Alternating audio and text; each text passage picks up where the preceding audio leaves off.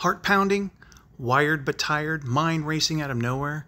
A lot of people think something's wrong with them, but most of the time, it's just chemistry.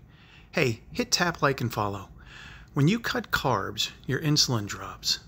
And lower insulin tells your kidneys to flush out sodium and water, pulling potassium with it. Most people are already low in magnesium before they even start. Then you add fasting, which naturally increases adrenaline early on to help your body release stored fuel. But if your minerals are low, your nervous system becomes more sensitive, so that normal adrenaline bump suddenly feels like anxiety, racing heart, jitters, restlessness, even if you've never had anxiety before. For some people, what feels like carnivore anxiety or fasting anxiety is really dehydration, mineral loss, and stress hormones all hitting at the same time.